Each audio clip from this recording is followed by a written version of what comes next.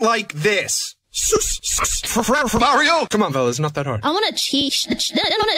Xbox. Sucks. That's correct. Can I speak to you for a moment? Hey, hey, hey, hey.